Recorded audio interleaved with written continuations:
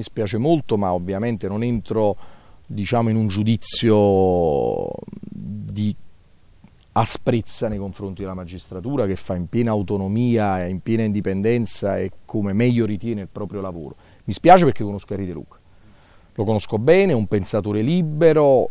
so bene che intendeva in quel suo ragionamento, un'opposizione forte a un'opera pubblica che ogni giorno che passa si dimostra inutile, dannosa, controproducente, con quei soldi avremmo potuto sistemare tutte le scuole d'Italia e questo è il pensiero di Henry De Luca. Se poi uno scrittore, un intellettuale, un pensatore